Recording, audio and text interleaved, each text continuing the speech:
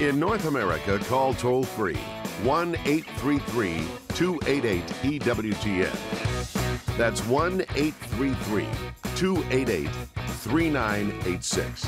Outside North America, call 1 205 271 2985. You can also text the letters EWTN to 55000 or send an email to openline at EWTN.com. Hey, tremendous Tuesday to each and every one of you. Thanks so much for tuning in to EWTN's Open Line. If you'd like to be part of the program, the number to call is 833 288 EWTN. That's 833 288 3986. If you're outside the United States and Canada, your number is 1 205 271 2985. And we'll even put you straight to the front of the line at 1 205 271 2985. You can always send us an email, open line at EWTN.com. Or you can text your question. Text the letters EWTN to 55000. Wait for a response. Text your first name and your question, message, and data rates may apply. I'm Jack Williams, the uh, the very mature Michael McCall producing the program today. Your call screener is Matt Gabensky and Jeff Burson handling our social media efforts. So if you're watching us on YouTube or Facebook Live, you can type a question into the chat window, and it may find its way to us by the end of the program. And uh, our host, as he is every Tuesday, Father Wade Menezes, and this is your final opportunity to ask a question of Father Wade before Thanksgiving and uh, before Advent begins, even. Uh, so I would encourage you to pick up that phone, uh, give him a call, and he is here, locked in, and ready to answer your questions. Unlike this past weekend when I called him to ask a question and he didn't answer the phone. He has he does not have that option with you right now. Thank God so for this is a caller perfect ID. opportunity for you to call in at 833 288 EWTN. Father Wade, how are you?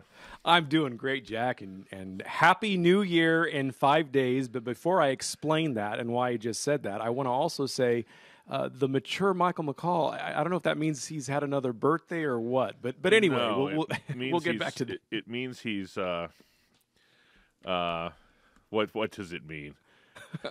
The, What- the, the the incredible dad T-shirt with the big life-size Incredible Hulk image on the front of it is the most mature thing about Michael McCall's behavior right now. Let's just put it that way. Hey, he, he's he's a proud dad. What can he is in a say, huh? control room full of electronic devices, and he is uh, he's doing exactly what you would expect a 12 year old to do with a bunch of electronic devices right now. and his little boy would love to be in there with him with those devices, I'm sure. And speaking of a proud dad, I'm a proud uncle and want to give a shout out to my two nephews, Kendall and Jude, who are driving home this very hour from college back to Kentucky for the Thanksgiving holiday. And I want to tell them on the air obey the speed limits, gentlemen. Otherwise, it's confessional matter. Don't you love having an uncle as a priest who can remind you of, of things? and the same thing to our own Fathers of Mercy seminarians who return from the seminary today for our Thanksgiving holiday here at the Generalate in Auburn, Kentucky. And I also tell them obey the speed limit. So, so uh, we're glad that these guys are coming home for the Thanksgiving holiday, and we wish everyone a very blessed Thanksgiving here at Open Line Tuesday. And I do want to talk about the new year because it's in five days on the first Sunday of Advent. You know, within the cycle of a whole year, Jack, the church unfolds the whole mystery of Christ, recalling thus the mysteries of redemption. The church opens to all the faithful, we say, the riches of her Lord's powers and merits, so that these are in some way made present for all time, and the faithful themselves are enabled to lay hold upon them and become filled with the saving graces that these gifts and merits from Christ offer to all of us. And so every year, our New Year's Day, liturgically speaking, it begins the entire new liturgical year, is the first Sunday of Advent. And so it is our New Year's Day. uh, because our secular lives, our temporal lives, are called to uh, revolve around the whole liturgical year and to make our lives holy. And then, of course, the secular New Year's Day, January 1st, is another great solemnity uh, on the church's universal calendar, the great solemnity of Mary, Mother of God, which is the eighth day, the closing octave day of the great Christmas octave, December 25th to October 1st. So, how beautiful is that, huh? Advent comes from the Latin word meaning coming it general uh, generally means that, for example, the coming of a, of a king to his people in, in older times, uh, historical times, when the people would have a great anticipation of the arrival of their king or their representative or a notable person. Well, Jesus Christ is coming and Advent focuses on his two comings. Uh, Advent is intended to be a season of preparation for his arrival. Huh? Uh, while we typically regard Advent as a joyous season, it is also intended uh, to be a period of preparation, much like Lent. Uh, prayer, penance, and fasting are appropriate during this season, but whereas Lent is more about penance, Advent is more about a quiet, uh, reflective, uh, sober awakening uh, to the coming of Christ. And while Advent is not as strict as Lent, uh, and there are no liturgical guidelines, we would say, uh, for fasting during Advent. Uh, it is meant to be a period of self preparation and self examination, and this is something that we should not lose sight of for this four and a half week season. Uh, for example, the, the violet uh, color associated with Advent is also the color for penance that is used liturgically during Lent, right? The faithful can fast uh, somewhat during the first two weeks in particular and receive the sacrament of reconciliation in preparation for the celebration of Christmas. It's one of those seasons of the year that's a great time to go make a good, holy, reverent confession in preparation for your Holy Communion during Advent. Uh, the color of the third Sunday of Advent, Gaudete Sunday, called Laetare Sunday during Lent, uh, is rose. Um, it means rejoice, gaudete in the Latin. Uh, this color symbolizes joy and represents the happiness we will experience when Jesus comes again. Uh, this third Sunday of Advent then is a day of anticipatory celebration. And finally, Sundays during Advent, just as during Lent, should not be given to fasting, but instead to celebration, because we celebrate the resurrection of our Lord every single Sunday of the liturgical year. It is important to remember, however, that there are no particular liturgical rules for how the laity should observe Advent as again, it is not as liturgically strict as Lent. We do have some religious orders that look uh, at Advent as, quote, the little Lent. And so, in that sense, again, Advent wants us to be uh, quiet, uh, reflective, have some introspection. How does my life mold to that of Christ? etc. And so it's a devout and joyful expectation season. It focuses on the two comings of Christ. Hence, the Mass offers two prefaces for Advent one focusing on the general judgment and one focusing on the Nativity. And Advent is divided into two periods from its beginning, the first Sunday. Uh, of, of, Advent, the first Sunday of Advent, uh, and then all the way through December 16th is that first period. And the second period is from the 17th of December through the 23rd. And that's when we hear the great O antiphons, the 17th through the 23rd. Huh? In the Liturgy of the Hours, they're used during the celebration of Vespers when they serve as the evening antiphon for the Canticle of Mary. And in the Mass, the O antiphons as well are incorporated into the Alleluia verse before the Gospel. And what are the O antiphons? And I want to wrap up with this December 17th, O sapientia, O wisdom. December 18th, O Adonai, O Lord of might. December 19th, O Radix Jesse, O flower of Jesse's stem. December 20th, O Clavis Davidica, O key of David. And December 21st, O Oriens, O rising star. And December 22nd, O Rex Gentium, O King of nations. And December 23rd, O Emmanuel, O God with us. And remember that great Christmas novena runs from the December uh, from December 20, 17th through the 25th of each year.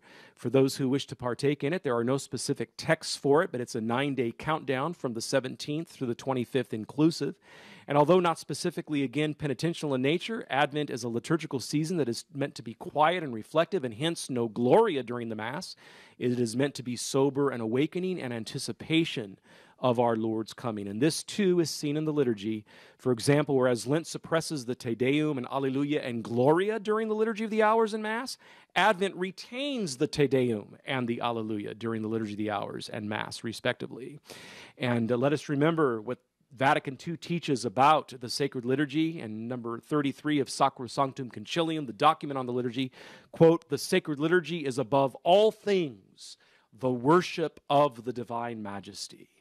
The sacred liturgy is above all things the worship of the divine majesty. So it's a great time to make some New Year's resolutions as we begin the new liturgical year, wherein your whole temporal and secular life is called to revolve around that liturgical year. Give us a call today. I would like to invite our Open Line Tuesday listeners to call in live and share with us what some of their New Year's resolutions are, liturgically and temporally. Maybe trying to go to Mass a little more, uh, maybe something more temporal or secular on your list. Call us up, give a witness. Also, give a witness of how your family observes the wonderful season of Advent. 833 288 EWTN is our toll free number. Straight ahead, we'll talk to Michael, Peggy, and hopefully you. It's Open Line Tuesday with Father Wade Menezes. A brand new item at EWTNRC.com this month is the Our Lady of Kibeho statue.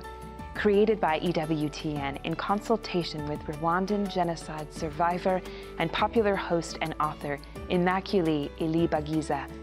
This new statue is based on the church approved apparitions of the Blessed Mother to three young girls in Africa.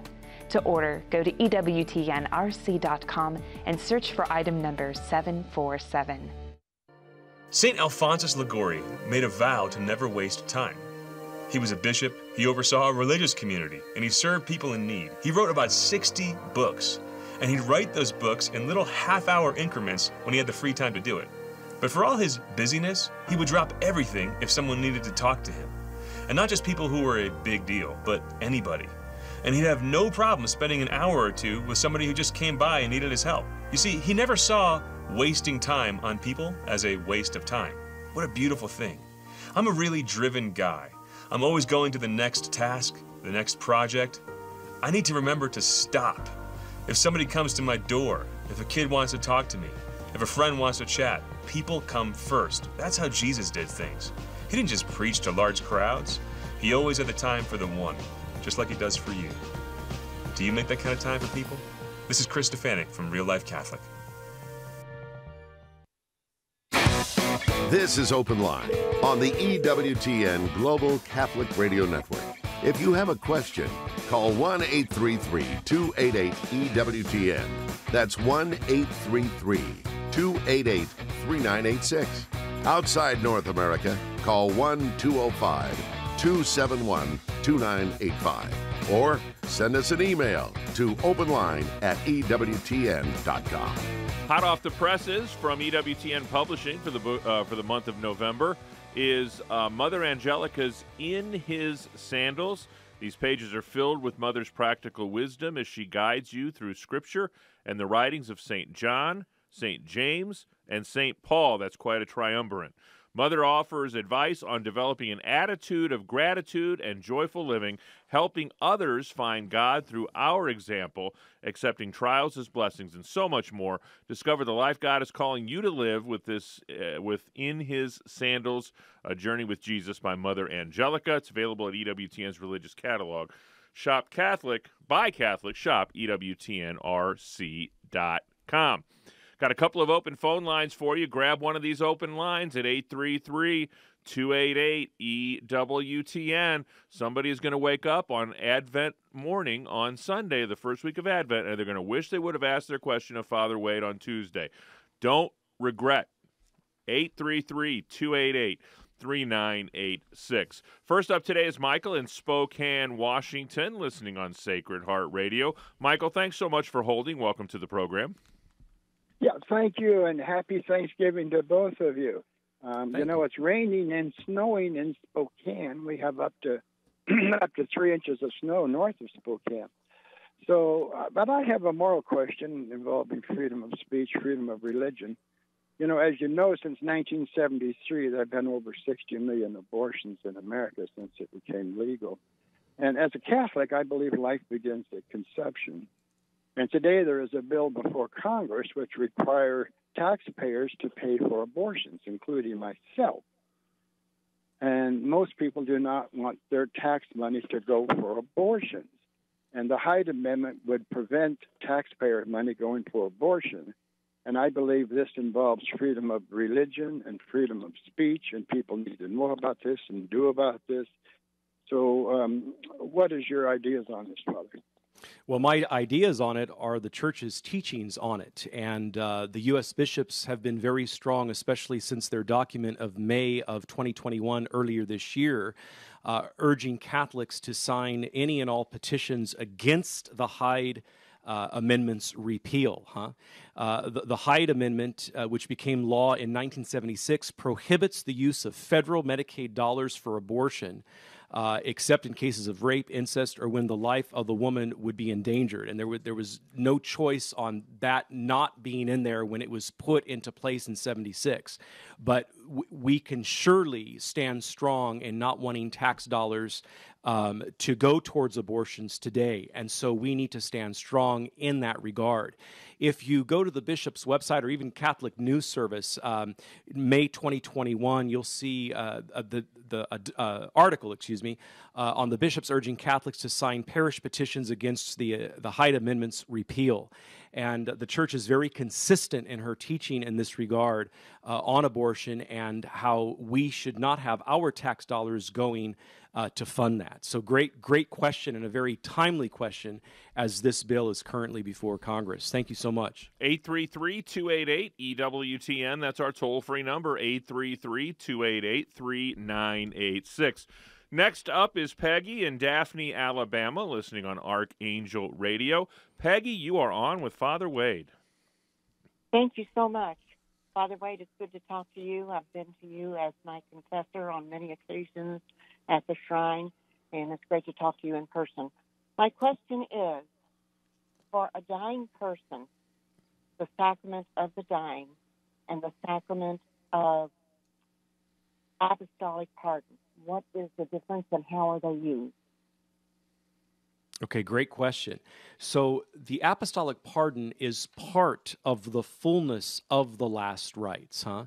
And the apostolic pardon is a complete remission of the temporal punishment due to already forgiven mortal and venial sin in the person's life. So the sins have been forgiven, that is their guilt. It's as though they never ever committed them. Why does a temporal punishment remain then? Well, because sin is messy. I've talked about this on, on Open Line Tuesday before. There's four categorical consequences to personal sin whenever it's carried out. And those four categories are personal, social, ecclesial, and cosmic. So, for example, I could rob a bank and spend all the money, have great remorse after the fact, go confess the sin of having robbed the bank, okay? The guilt of that sin is forgiven but then there's also the messiness that remains, the, the temporal situation uh, remains of me having spent everybody's money, and there's no way for them to get their money back. So sin is messy. There's personal, social, ecclesial, and cosmic consequences to sin. And sin is always, always a personal act, even if it's carried out with another uh, in unison with another. For example, the sin of adultery, or, or I've used the example of, of Jack and I robbing a bank together. It's still a personal sin on my part, it's still a personal sin on his part. So uh, the temporal punishment remains, and what the apostolic pardon does, it completely removes that temporal punishment uh, for already forgiven mortal and venial sin if there's any remaining. There may not be any remaining if the person has offered their sufferings throughout life, if they've sought plenary indulgences, if they've sought the treasury of merits from the cross, which is the whole meaning of the doctrine of indulgences, which the apostolic pardon is a part of, right? And so uh, that, that's important to remember as well. Uh, and so when we talk about the last rites, we mean the anointing of the sick, holy confession, if the person needs to go. They may not feel the need to go if they're not aware of any mortal sins uh, Holy Viaticum, which is one's final Holy Communion, if they're able to receive it. They may not be able to receive it. For example, if they're in ICU because of a car accident and they have a lot of apparatus on them uh, and they're not able to receive uh, their final Viaticum, their, the, receive Viaticum, their final Holy Communion. Prayers of commendation for the dying is number four, which includes the Litany of the Saints. And the Apostolic Pardon is number five uh, which the priest confers upon the dying person when they are near death. So, Uh, of those five, the anointing of the sick, confession, holy viaticum, prayers of commendation for the dying, and the apostolic pardon, there's two of the five that may not be received. Number one, confession again, if the person feels they, they're not uh, they have no need to go, or they're not able to go because, again, they're in ICU. They have all kinds of apparatus on them. They're in a coma, either induced or natural, and they're not able to make a confession. In that sense, anointing of the sick doubles as confession for mortal sin. And the second thing of the five that they may not be able to receive uh, as a collective five would be the Holy Viaticum, one's final Holy Communion, uh, because again, they may not be able to receive it. Uh, so, so the apostolic pardon is tied to the doctrine of indulgences precisely because the apostolic pardon uh, completely removes all temporal punishment due to already forgiven mortal and venial sins. Okay? And that's important. Now, where does this appear in the Catechism? And rightly so, I might add, in the section on the sacrament of penance, the sacrament of reconciliation, holy confession, huh? And this is very beautiful that the doctrine of indulgences is included in that in that section. Uh, an indulgence is the remission before God of the temporal punishment due to sin, whose guilt has already been forgiven, if mortal sin through the sacrament of penance and reconciliation, if venial sin either through the sacrament of penance and reconciliation or through other ways.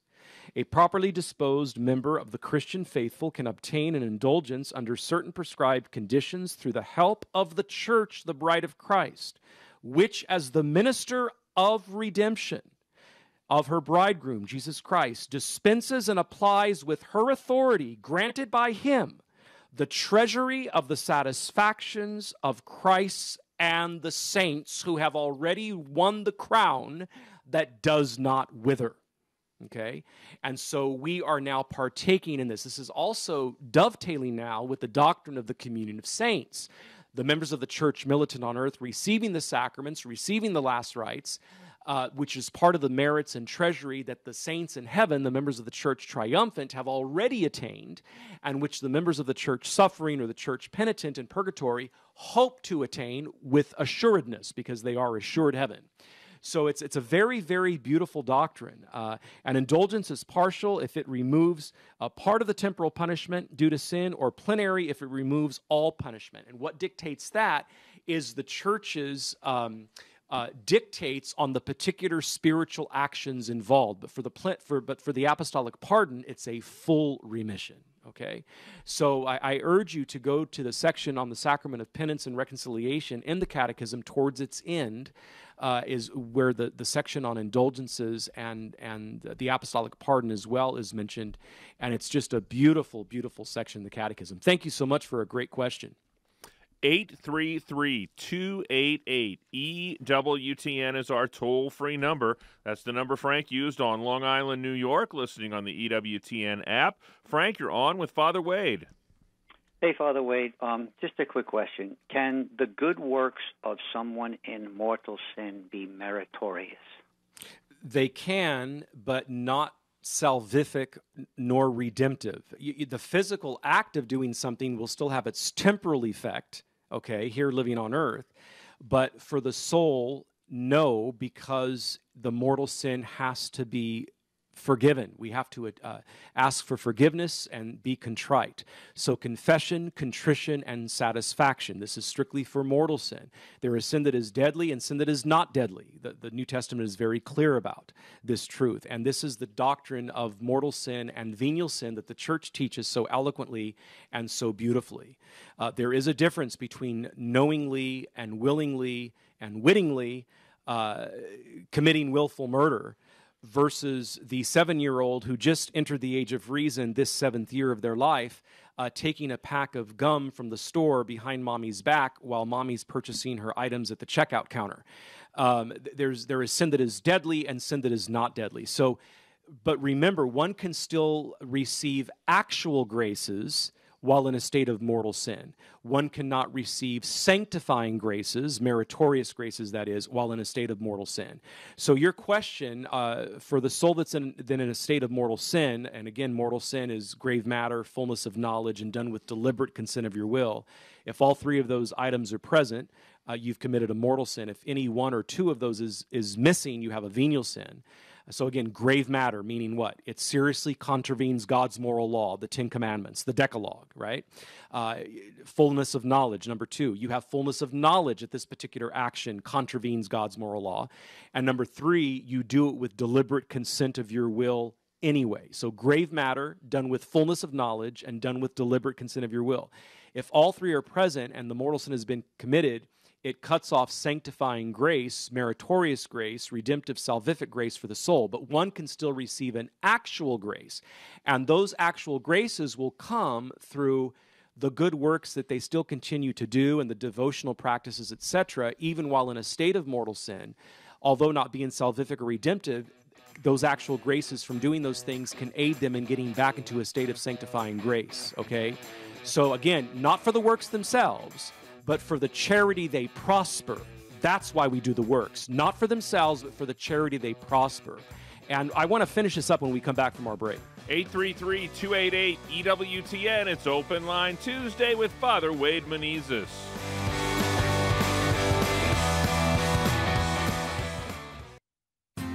Prayer has been so powerful in my communication with God, understanding the church better, most importantly, understanding the Lord better, and myself better.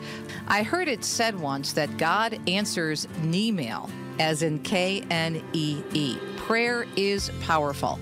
One of the favorite things I love to do when it comes to prayer is to ask for the intercession of the great saints. Try it sometime. You'll be very, very impressed and surprised by the amazing power of prayer.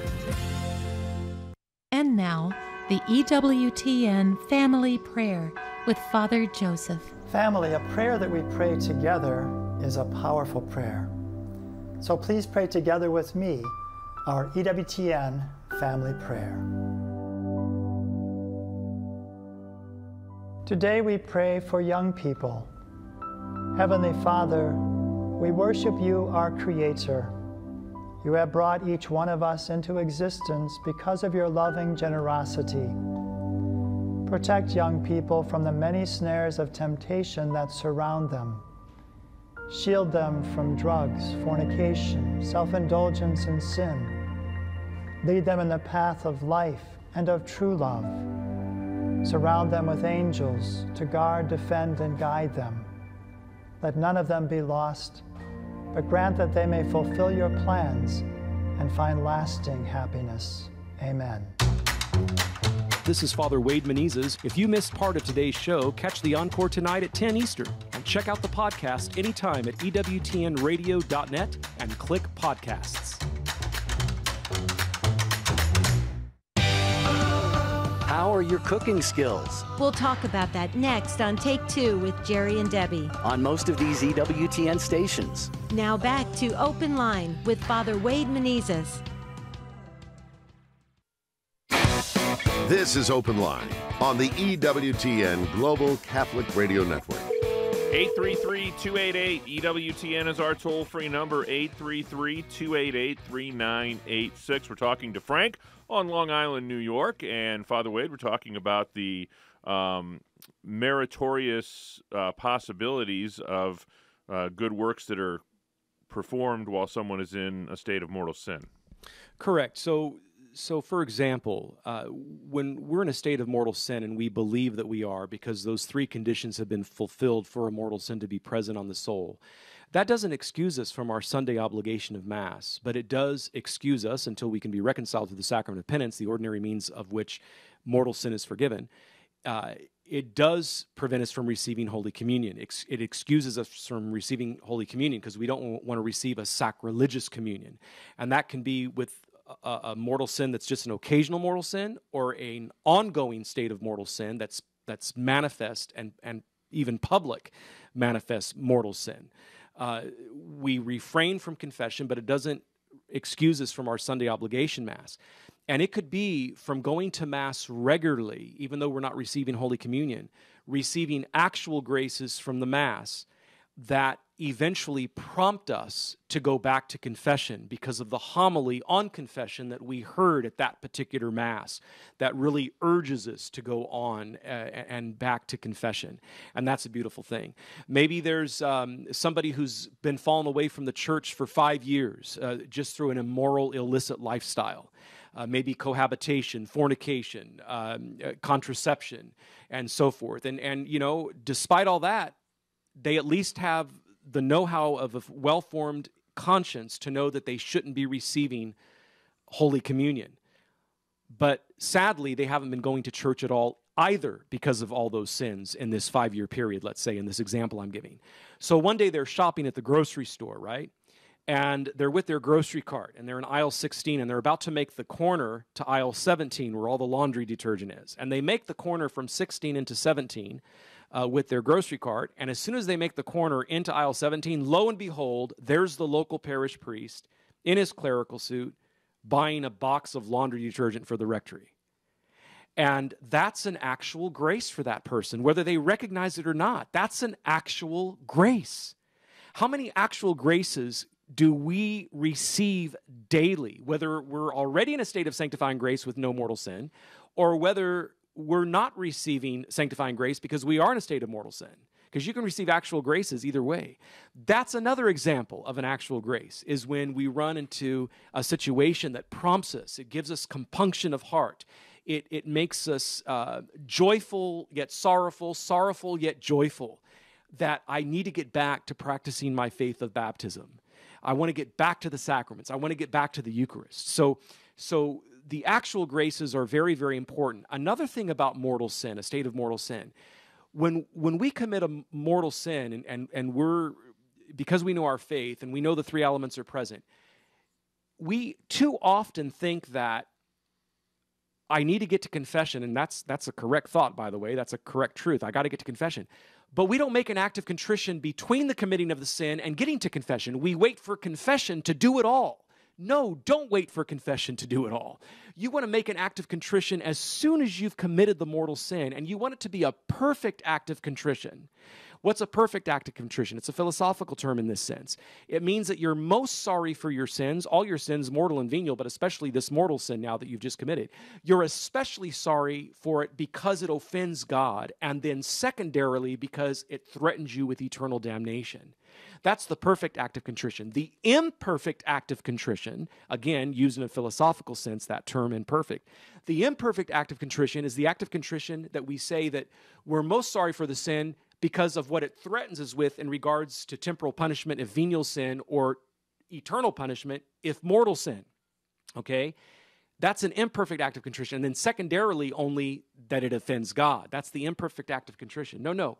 When we commit a mortal sin, we want to make a perfect act of contrition as soon as possible and then get back to confession as soon as is reasonably possible uh, to get back in a state of sanctifying grace we have the intellect, the will to pursue the good, the true, and the beautiful, and to shun evil and vice. This is part of being made in the image and likeness of God. And this is our calling through our baptism. This is our calling through our sacrament of confirmation. This is sustained by regular Eucharist. This is sustained by regular reconciliation. And these are the truths that we want to live by. These are the truths that we want to uh, uh, prosper and, and give to others and help uh, evangelize others with, especially those who have fallen away from the faith. So, a great question on, on whether or not uh, act certain actions, whether devotional or, or pious or, or, sacramental, can they be meritorious in of themselves in regards to sanctifying grace while in a state of mortal sin? And don't forget to make the perfect act of contrition as soon as you realize that you've committed a state of mortal sin. I'm talking to everybody now. Uh, don't just wait for confession to do it all, huh? Uh, you don't know if you'll make it to that next confession. Maybe something will happen to you that you won't make it to that confession. You want to make that perfect act of contrition, uh, which should be part and parcel with the daily examination of conscience. This is why the, the, the particular examen done at midday and the general examen done at the end of the day uh, are such staple practices in, in, the, in the, the strongly lived Catholic Christian life, whether single, lay, uh, whether a single person, married person, whether a consecrated religious diocesan person, diocesan priest, or, or deacon. Uh, this is why the particular examen and the general examen are such a staple uh, element of the daily lived spiritual life. Great question, Frank, from Long Island. Thank you so much. Next stop is Davisburg, Michigan. Steve is in the great state of Michigan listening on Ave Maria Radio. Steve, you're on with Father Wade. Hi, Father Wade, and uh, thank you for taking my call. I wanted to say thank you so much for answering God's call to serve Him as a priest. You're a, you're a gift to me, a gift to the church, and as a convert, I can say I cannot believe how incredibly blessed we are to be Catholic Christians. I've received this uh, inexhaustible treasure chest from Jesus our Lord. And uh, so, amen. So I had a question. Uh, is there anything wrong theologically or uh, from our Catholic faith to be reading the King James Version of the Bible?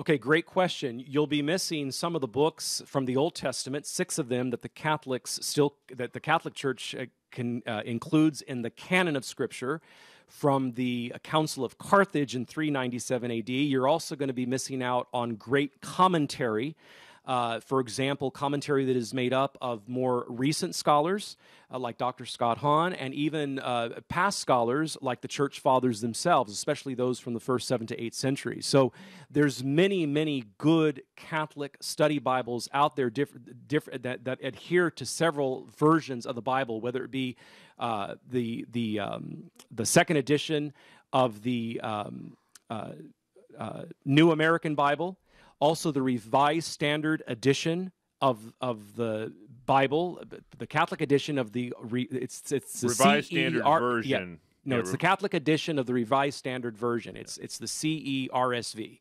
That's what I was trying to say, and uh, and there's others. There's even the Douay-Rheims that's done in a more modern modern translation that's very very good. There's five that I really like to promote to people, and these come to us from Ascension Press. Um, and they rank them here from the the top five, starting with number five and moving down to number one, with what Ascension Press believes is to be the best. So number five is simply titled the Catholic Study Bible. It's from Oxford University Press, and it includes the first one that I mentioned as far as translations go, the New American Bible Revised Edition. That's the NABRE. It's the English translation. Number four is the Catholic Scripture Study Bible the Catholic Scripture Study Bible. That's from St. Benedict Press, and that uses the same translation. Um, then there's the Didache Bible. Uh, just released in 2015, a few years ago. Uh, it uses the RSV Second Catholic Edition translation of the Bible, which is the second one that Jack and I mentioned just now, the second translation, that is. Uh, number two is the Ignatius Catholic Study Bible from Ignatius Press. It also uses the Revised Standard Version, Second Catholic Edition uh, of the of the English translation of the Bible. And number one, the Great Adventure Catholic Bible, the Great Adventure Catholic Bible. All of these have great, great commentary. This number one that I just mentioned from the Ascension Press list, the Great Adventure Catholic Bible, has a lot of, of modern scholarship of scriptural exegesis in it by Dr. Andrew uh, Swafford, Dr. Peter Williamson, Jeff Cavins, uh, Dr. Mary Healy, uh, and, and others. So, modern scholars that are teaching right now at, at various uh, Catholic universities. Um, so, those are five right there. If you go to Ascension Press's website at ascensionpress.com and on the search bar, just put in the words study Bible uh, these this article on the f- top five that they recommend are right there. So to, again, to echo my answer to your question, there's nothing wrong with reading the RS the the um, King James version of the Bible, except that you're missing out precisely as a Catholic. Now, what I would want to do as a Catholic convert uh, in, into the faith uh, you when you read the church fathers, you want to juxtapose with the King James version how the fathers saw this particular passage different from the scholarship that's given by the Protestant authors in the King James version. So remember, you you want to go as deep as you can into Scripture. Uh, uh, ignorance of Scripture is ignorance of Christ. Saint Jerome teaches, and so you want to delve more deeply, and we do this by the scholarship, the exegesis, not only the modern scholars, the, the good solid ones but also the church fathers, even the lives of the saints throughout the, the, the history of the church. And that's why I like the Navarre Bible, which is put out by Opus Dei, the Navarre Bible. Um, much of its commentary features predominantly the church fathers, again, of the first seven to eight centuries, but uh, many of the commentary, much of the commentary in the Navarre Bible uh, features just simple quotes of the saints on this particular packet, passage. It could be a quote from St. Teresa of Avila, who lived in the 16th century, or St. John the Cross, who was a contemporary of hers. It could be from St. Alphonsus Liguori, a, a quote from him quoting on this uh, passage on the resurrection, uh, who lived in in the um, in the 18th century. So again, it's it's it, it's it's the whole picture of the saints, especially the church fathers and the modern day scholarship. So if I were you, I would look at at that uh, article from Ascension Press and really examine those top five that they recommend. Thank you so much for a great question. God bless you, Steve. Thanks for the call. 833 288 EWTN. That's our toll free number, 833 288 3986. Tomorrow on Take Two with Jerry and Debbie on the day before Thanksgiving. What a great topic for their program tomorrow. Do you like to cook? Do you like to cook? That's the question Jerry and Debbie are asking you tomorrow on Take Two, noon Eastern Time, right here on EWTN Radio. 833 288 EWTN is our toll free number. It's a free phone call anywhere in North America, 833 288 3986. Next up is Ellie in New York City watching us on YouTube today.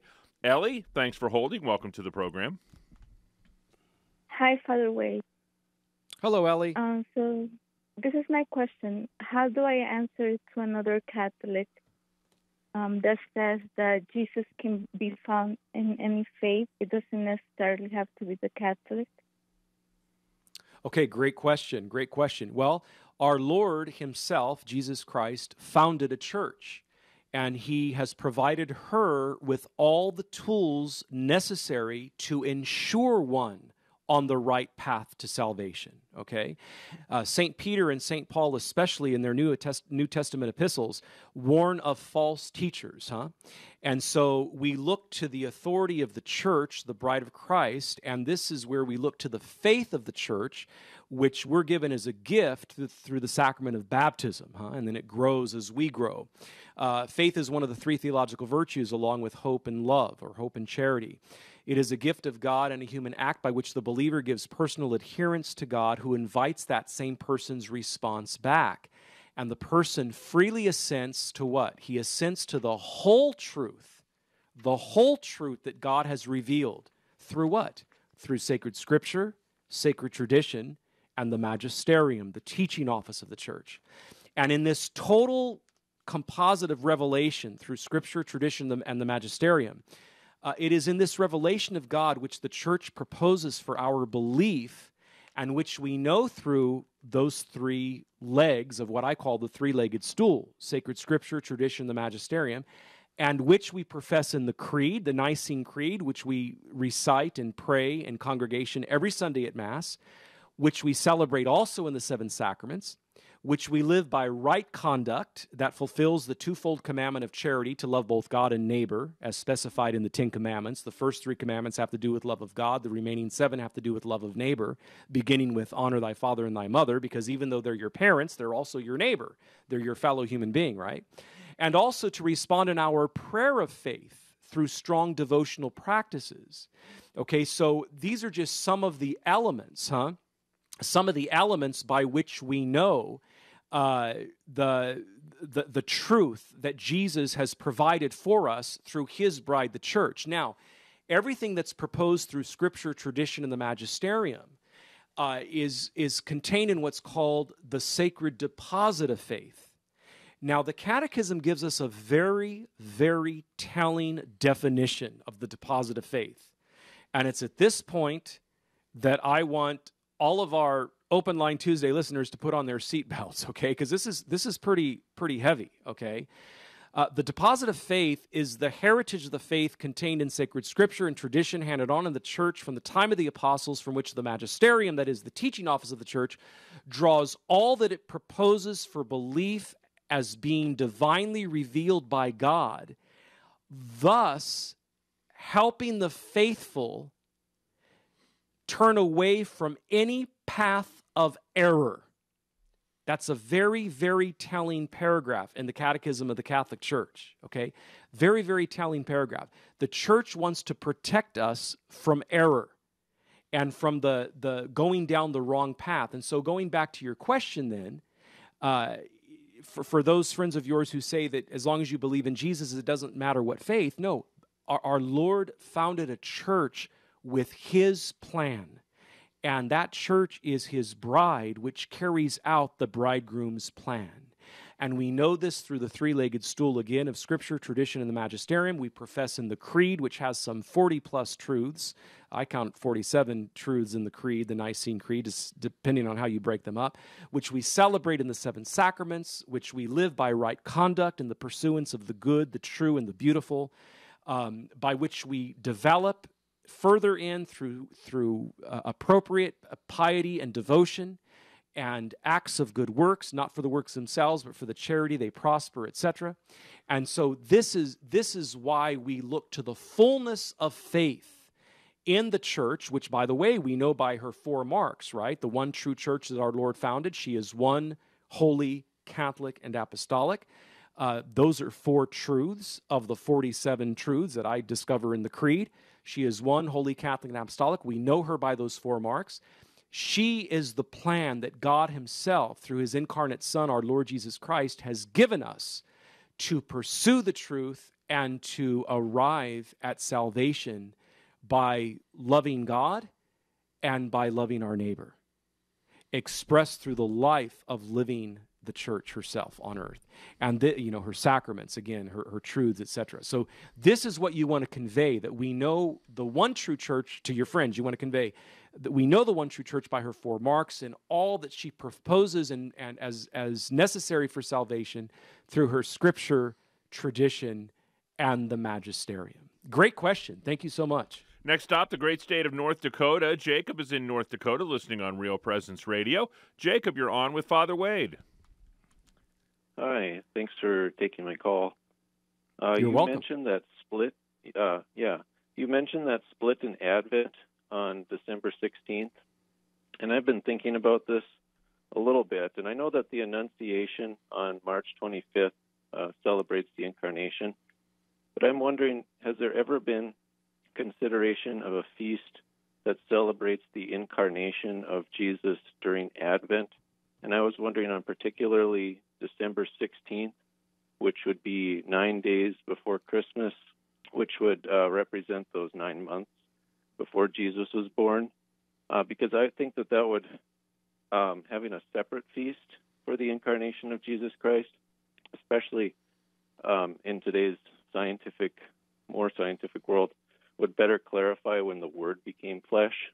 Because when I hear that reading at Christmas, uh, you know, you have people that think that that people become um, humans when they're born, and um, I just think that perhaps a, a feast, a separate feast celebrating the incarnation of Jesus Christ, would better signify um, when Jesus became flesh um, at the incarnation.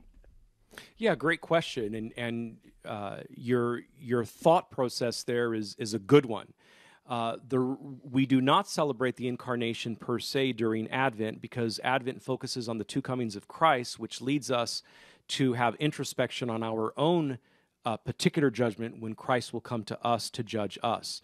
Uh, and because we celebrate the sacred incarnation on March 25th of every year, also called the Annunciation, meaning the announcement uh, of the Archangel Gabriel to Mary when he asked her if she would be the mother of God.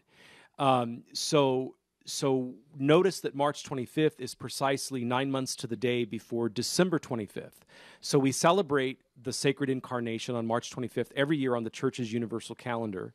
Uh, It's classified as a feast, uh, not a solemnity, but a feast. And uh, it's also referred to as uh, the Annunciation, as I said, uh, as well as the Sacred Incarnation, March 25th. And so that's why we don't celebrate it per se in Advent, along with the second reason of Advent focusing on the two comings of Christ. So the first two thirds of Advent focus on his second coming as the just and merciful judge.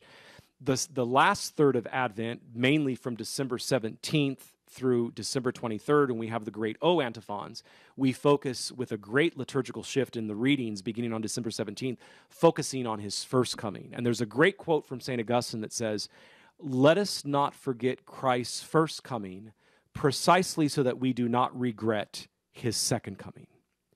Let us not forget Christ's first coming, precisely so that we do not regret his second coming. So, great, great question. The church does celebrate it, not during Advent per se, the Sacred Incarnation, and it's for those two reasons. We celebrate on the 25th of, of, of March every year as a feast, and secondly, to not take away from the focus of Advent, which is on the two comings of Christ and also our own particular judgment.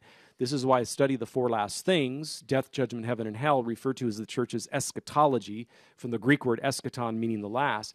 it's a great time to renew our fervor and our love for the doctrine of the church's eschatology, the study of the last things death, judgment, heaven, and hell, three of which will apply to each one of us personally. Great question. Thank you so much. And I want to recap from the previous question. I didn't give the catechism number. Uh, it's catechism number 890. It says, The task of the magisterium, especially of the church, is to preserve God's people from deviations and defections of the truth in order to guarantee them the objective possibility of professing the one true faith without error. And this mission of the magisterium, the teaching office of the church, is linked to the definitive nature of the covenant established by God with his people in Jesus Christ, who came in the flesh. Number 890 of the Catechism. Two great questions again. Thank you so much. 833 288 EWTN is our toll free number. 833 288 3986. Next up is Christian in Allentown, Pennsylvania, listening to the Open Line podcast. Christian, you're on with Father Wade. Hey, Father Wade, this is your nephew. Hello, Christian, another nephew. This isn't the one driving, this isn't either of the two driving home from uh, college today, everybody. This is another nephew. hey, uh, as you know, I work in the medical field here in Allentown, Pennsylvania, and uh, a question I've been meaning to have you kind of talk about or ask about is uh, one that we encounter a lot uh, for end of life or palliative conversations. Um, you know, when should we consider what, what are the church's values and, and teachings on doing uh, nutrition and hydration through artificial means, you know, through the belly, feeding tubes, and things Sure. like that, um, aside from ordinary means? Great question. I wish I had more time to answer it. It's, it's 252, but I'll, I'll just give a summation of it. The church teaches that we are always bound to give ordinary means of care to the sick person. We are never bound to give extraordinary means, but hydration and nutrition are considered part of the ordinary means always. If, for example, the, the nutrition, whether it be through solid food, soft food, or intravenous uh, liquid food, n- nutrients, and so forth.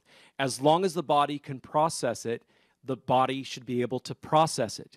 Uh, and then the church puts great credence in the expertise of doctors, uh, two to three opinions. Uh, the, the, the, the, the lay faithful for their loved one are, are, are welcome to receive from two to three doctors' opinions on, on what the doctors believe the stages the loved one is currently at.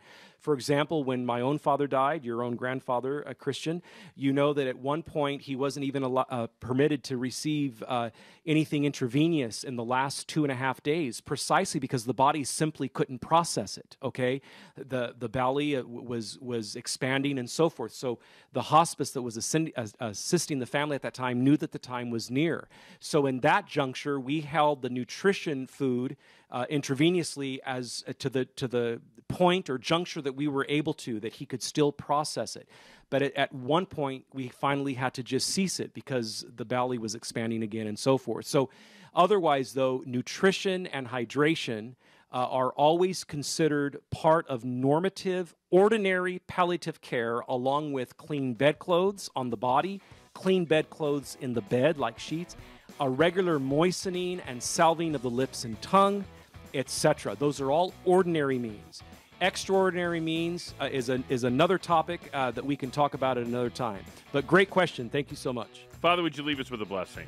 I certainly will, Jack. May the blessing of Almighty God, the Father, and the Son, and the Holy Spirit descend upon all of our Open Line Tuesday listeners and remain with each and every one of you this day and always. And Happy New Year's this coming Sunday, the first Sunday of Advent, St. Joseph, Terror of Demons. Pray for us on behalf of our host, Father Wade Menezes, producer Michael McCall, call screener Matt Kubensky, and our social media maven, Mr. Jeff Burson. I'm Jack Williams. Thanks so much for tuning in to Open Line Tuesday. Back at it tomorrow with Father Mitch. Until then, God bless.